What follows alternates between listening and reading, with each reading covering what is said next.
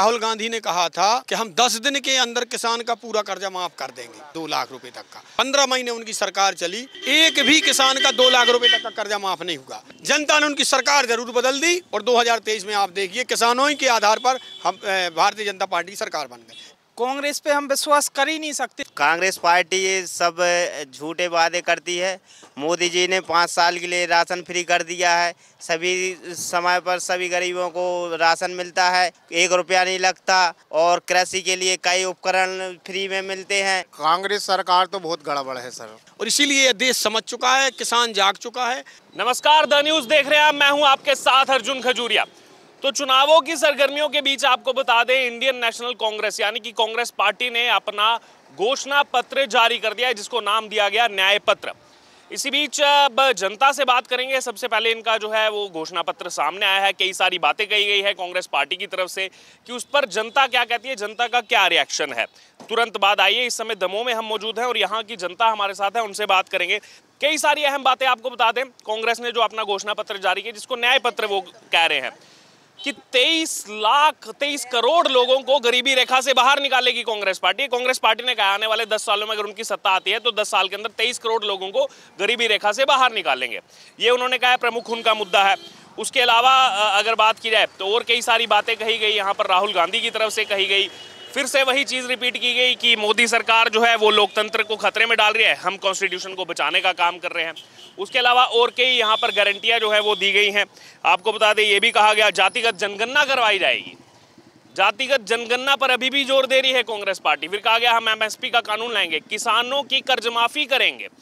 बहरहाल एमपी में हम मौजूद है और किसानों की कर्ज माफ़ी का मुद्दा यहाँ बार बार चलता रहता है और इसी वजह से कमलनाथ सरकार गिरी भी थी। अब यहाँ जो लोग मौजूद हैं, इनसे बात करेंगे। किसान लग रहे हैं वैसे तो देखने से बात करेंगे इनसे। क्या नाम है आपका? हरीश चंद्र पटेल। हरीश चंद्र जी क्या काम करते हैं? खेती किसानी का काम करते हैं। किसान ही हैं। जी जी। अच्छा तो ये बताइए सबसे पहले अभी ये जो घोषणा पत्र आया है कांग्रेस पार्टी का तो आप क्योंकि किसान हैं तो किसानों के मुद्दे से ही शुरू करूँगा। उन्होंने कहा है एमएसपी लाएँगे और किसानों की कर्ज माफ़ी करने का काम करेंगे। प्रमुख किसानों के लिए उन्होंने कहा है। किसान होने के नाते भरोसा करेंगे कांग्रेस पर? हम आपको बता दें इसी दमोह में 2018 के चुनाव में राहुल गांधी खुद आए थे। यही आए यहीं दमोह आए थे यहाँ तहसील ग्राउंड है यहाँ पीछे। तहसील ग्राउंड पर उनकी सभा हुई थी और राहुल गांधी ने कहा था कि हम 10 दिन के अंदर किसान का पूरा कर्जा माफ़ कर देंगे दो लाख रुपए तक का।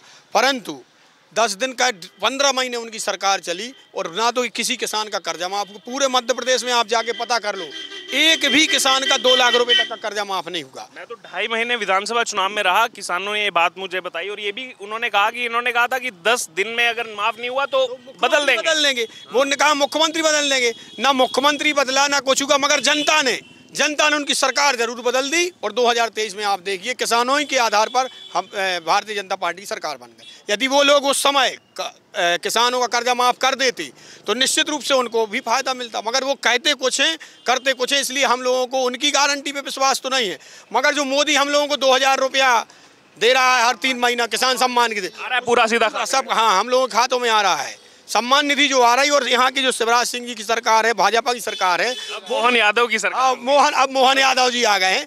मोहन यादव जी की सरकार दो हज़ार रुपये वो भी दे इस प्रकार हम लोगों को बारह हज़ार रुपये साल भर में मिल जाते हैं जिससे हम लोग समय पर खाद बीज ले लेते हैं और हमें किसानी करने में सुविधा होती है। चलिए फिर आपके पास आऊँगा बहुत से लोग हैं। आपसे मैं ये जानना चाह रहा हूँ कि अ, रुक जाइए रुक जाइए रुक जाइए। हाँ आप मुझे ये बताइए इसमें एक प्रमुख मुद्दा कहा पी चिदम्बरम जो इस कमेटी को हेड कर रहे थे कि 23 करोड़ लोगों को हम गरीबी रेखा से बाहर निकालेंगे अगर कांग्रेस सरकार आती है 10 साल के अंदर। तो भरोसा है आपको 23 करोड़ लोगों को गरीबी रेखा से कांग्रेस बाहर निकालने का वादा कर रही है? कांग्रेस केवल एक जुमला है। कांग्रेस पे हम विश्वास कर ही नहीं सकते क्योंकि जो सत्तर साल में रहने के बाद भी आज भी ये वादे कर रही है कोरे वादे के वादे ही रह जाते इनके। और कांग्रेस रियलिटी में तो कुछ करती नहीं है। रियलिटी में तो इनका कोई काम होता नहीं है। बस फाइलों में बोलेंगे घोषणा पत्र में जारी करेंगे बाकी जब रियलिटी ग्राउंड रियलिटी की बात करेंगे तो बस सब कोरे के कोरे रह जाते।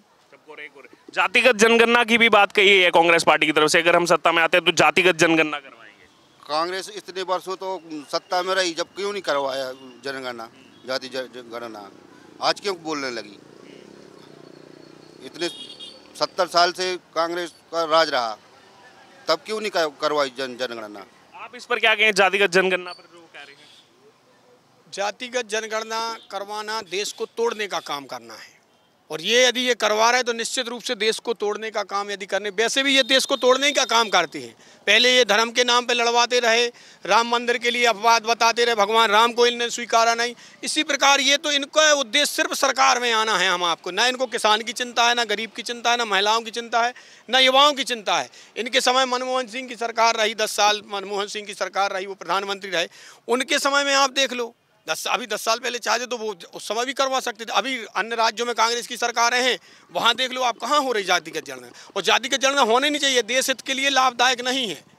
जो अभी व्यवस्था संविधान में चल रही है, उसी व्यवस्था पर यह देश चलना चाहिए, जिससे हमारा देश आगे बढ़े और मोदी जी के नेतृत्व में यह देश खूब आगे बढ़ रहा है और किसान तो बढ़ रहा है। कोई बड़े चाहे ना बड़े हमें हम लोग ज़्यादा तो नहीं जानते। इतना ज़रूर जानते हैं कि हम लोग किसानों के लिए हम लोगों को बहुत अच्छी सरकार है और किसान हित में ये लोग काम कर रहा है। जी इनके पास आप कुछ कहना कांग्रेस जो है हमेशा से तुष्टिकरण की राजनीति करती आई है। आज वो जाति संप्रदायों में बांटने की बात कर रही है। हमेशा से वो एक दूसरे को एक दूसरी जातियों को आपस में फाइट करा के यही तो उनने किया है सत्तर साल तक। एक दूसरी जातियों को लड़ा के और शासन कर रहे हैं। सत्तर साल तक ये यही तो किया है। जातिगत तो बात होनी नहीं चाहिए। जी जी। आपका क्या नाम हुआ सूरज अहरवाल। सूरज जी यहीं के रहने वाले जी। अच्छा अच्छा कांग्रेस ने कहा है कि हम कई सालों से कई दशकों से गरीबों की सेवा करते आए हैं और आगे भी गरीबों की सेवा करेंगे। देखो कांग्रेस पार्टी ये सब झूठे वादे करती है। मोदी जी ने पाँच साल के लिए राशन फ्री कर दिया है। सभी समय पर सभी गरीबों को राशन मिलता है। एक रुपया नहीं लगता और किसान सम्मान निधि आती है समय पर तो खाद बीज भी समय पर मिलता है और कृषि के लिए कई उपकरण फ्री में मिलते हैं। ये सब सब्सिडी मिलती है इसलिए मोदी की गारंटी में मोदी सरकार बनेगी। आपका क्या नाम सर श्री राम पटेल। यहीं के रहने वाले हैं? सीतानगर। अच्छा आप बताइए कांग्रेस के इस मैनिफेस्टो पर क्या कांग्रेस सरकार तो बहुत गड़बड़ है सर। गड़बड़ है? हाँ इसलिए है कि 2016 में उर्दू की खरीदी करी। कमलनाथ छः महीना हो मुख्यमंत्री बने, फिर उसके बाद सरकार बदल गई, शिवराज सिंह की आ गई। तो इसलिए हम लोगों ने उर्दा बेचा तो हमारे उर्दा छप्पन के भाव की खरीद भई। तो इसलिए उसने उर्दा की फीडिंग हो गई तो उसके बाद छत्तीस के पैसे डले। हमारा चार पाँच लाख का नुकसान है आज बोल रहे थे हम पर भुगतान करेंगे। बीजेपी की सरकार शिवराज सिंह बन गए तो हमने हाई कोर्ट में केस भी लगाया तो पैसे नहीं मिले। हमारे गाँव के पंद्रह लाख रुपए और हमारे चार लाख रुपए नहीं मिले। अभी कर्जा माफ़ी कहा गया जो 2018 विधानसभा चुनाव में कहा था कि किसानों की कर्जा माफ़ी करेंगे कांग्रेस किसानों का कर्जा नहीं हुआ माफ़। नहीं हुआ। बिल्कुल नहीं हुआ कांग्रेस ने नहीं किया है। हाँ हाँ। अच्छा जी आप आइए आपका क्या नाम है? विजय यादव। विजय जी जहाँ अगर बात की जाए एक तरफ़ जो मुद्दे भी चल रहे हैं ये एक और मुद्दा हाईलाइट हो रहा है। आप रॉबर्ट वाड्रा को जानते हैं? रॉबर्ट वाड्रा प्रियंका गांधी के पति? नहीं हम नहीं नहीं उनके नहीं। चलिए आप इस मैनिफेस्टो पे बता दीजिए। तेईस करोड़ लोग उन्होंने कहा दस साल के अंदर हम जो है गरीबी रेखा से बाहर निकालेंगे। कांग्रेस पार्टी ने ये कहा है। क्या है इस पर आप वो तो नहीं निकाल पाएँगे कभी कांग्रेस वाले। भरोसा है उन पर? नहीं हमें नहीं भरोसा हम तो बात सरकार नहीं चल पाई है गरीब रेखा से बाहर कर देंगे तो। हाँ। क्योंकि अगर जो गरीबों को फ़ायदा नहीं मिलेगा तो फिर कैसे आगे देश चलेगा? अच्छा आप आप जानते हैं रॉबर्ट वाड्रा को? हाँ। गांधी के पति। टीवी में देखा है नाम भी सुना है उनका। अच्छा अमेठी सीट का भी आप जानते होंगे अमेठी परंपरागत सीट रही है कांग्रेस हाँ, हाँ। बार हारे थे राहुल गांधी। तो अब रॉबर्ट वाड्रा कह रहे हैं क्योंकि राहुल गांधी के वहाँ चुनाव लड़ने पर संशय आ रहा है कि लड़ेंगे नहीं लड़ेंगे। अब वो कह रहे हैं कि ठीक है मैं तैयार हूँ मैं सेवा करूँगा लोगों की। तो सवाल ये उठ रहा है कि वो सीट गांधी परिवार अपने ही पास क्यों रखना चाहता है? क्या कोई और कैपेबल नेता नहीं है कांग्रेस पार्टी के पास?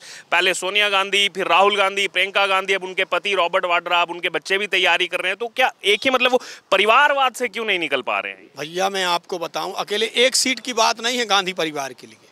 वो हर सीट उन्हीं के अनुसार ही बढ़ रही है। वो चाहते हैं कि हमारे, उनके अलावा, उनके रिश्तेदार, नातेदार, परिवार, अभी तक तो परिवार चलता था, अब वो अपने बेनेऊ को भी लेकर आ गए। अब कल के दिन को उनका भनेज भी आ जाएगा, फिर उनके साले, जीजा सब कुल मिलाकर उनको सिर्फ़ अपने परिवार, अपने नातेदार, रिश्तेदारों के अलावा इस सत्ता में आने के लिए उनको किसी की आवश्यकता नहीं। है और न वो कह रहे हैं वो चाह रहे हैं कि हम सब लोग आ जाएँ मन की हम अपनी सरकार चलाएँ। और इसीलिए देश समझ चुका है, किसान जाग चुका है। कभी भी अब गांधी परिवार हो, चाहे कांग्रेस परिवार हो, अब यह किसान और गरीब और मजदूर, इनको वोट करने वाला नहीं है, चाहे रॉबर्ट वाड्रा अमेठी से लड़ने, वो जाएँगे, सो जैसे राहुल गांधी हारे थे, ऐसे वो हार जाएँगे। इनकी तो जमानत जब्त होगी। राहुल गांधी तो इतना माना ठीक स्थिति में हारे थे, मगर इसकी तो जमानत जब्त हो जाएगी। इसलिए मैं आपको बताऊँ, वो सिर्फ़ परिवार, रिश्तेदार, नातेदारों में घिरी हुई है पार्टी है, और एक गांधी परिवार भी उसी में घिरा है। इसलिए ये जनहित का काम कभी नहीं कर सकते। जिन अबे राहुल गांधी जो तो पता नहीं कि गेहूँ को पेड़ों के शोधने चाहिए गेहूँ निकलत के ऊपर गेहूँ निकलत अभी किसान को हित का कर दें? महिलाओं की समस्या उन्होंने एक पता नहीं जब महिलाओं को का हित कर दें? युवा बेरोजगार फिर रहे हैं उनके लाने भी का कर दें? हैं हमारे मोदी जी जो हैं मोदी जी देश चला रहे हैं महिलाओं के बारे में उन्होंने नारी शक्ति के लिए कितना काम किया? अभी उनने तैंतीस परसेंट आरक्षण कर दिया, तीन तलाक का उनके महिलाओं के हित में ख़त्म कर दिया। कितना महिलाओं के हित में काम कर रहे हैं? गाँव गाँव बच्चियों को पढ़ाने के लिए सुविधाएँ दे रहे हैं, हर चीज़ दे रहे हैं वो, मोदी जी। तो अब बताओ, अब वो कह रहे हम महिलाओं का हित करेंगे। उनने क्या महिलाओं का? अभी खुद को पहले तो परिवार बसा लें, परिवार बसा के देखें, इसके बाद वो देश का आगे कुछ काम करेंगे तो उनको अनुभव अनुभव लें पहले। अभी उनको अनुभव नहीं है ना देश चलाने का, ना घर चलाने का। सबसे पहले उनको अनुभव लेना चाहिए। ये आपने लोगों की प्रतिक्रिया सुनी, कांग्रेस पार्टी ने जो अपना घोषणा पत्र जारी किया है, उसमें जो तमाम बातें कही हैं, उसको लेकर के लोगों का रिएक्शन है कि क्या उनको भरोसा है, नहीं है। अब आपने पूरी चर्चा सुनी और साथ साथ रॉबर्ट वाड्रा को लेकर के जो न्यूज़ आ रही है, जो खुद रॉबर्ट वाड्रा ने कहा कि हाँ मैं तैयार हूँ, मैं यहाँ से चुनाव लड़ना चाहता हूँ मेठी से, उस पर भी कई सारे सवाल उठे, उसको लेकर भी आपने प्रतिक्रिया जनता की सुनी। अब आपकी इस पूरी चर्चा से जो भी राय हो, आप ज़रूर हमारे कमेंट बॉक्स में शेयर करें और देखते रहे द न्यूज़ पर जनता का सर्वे।